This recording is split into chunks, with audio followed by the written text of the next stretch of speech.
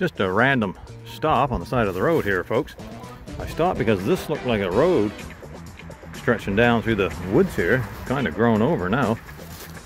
No sooner did I get off the road and I see right over here, of course it's a big modern jug of some sort, but right beside it is a federal law forbids bottle.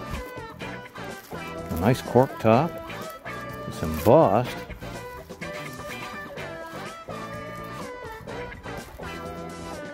Heaven Hill. Maybe from 1963, if that 63 means anything on the base. Symbol of excellence. Federal law forbids sale or reuse of this bottle.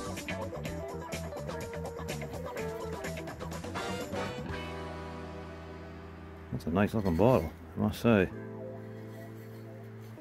Not bad for a random find. Here's a decent find, folks. Just out scouting around. License plate, Nova Scotia. 1970, uh, 1974 looks like. Still in pretty good condition. Yeah, might be worth keeping.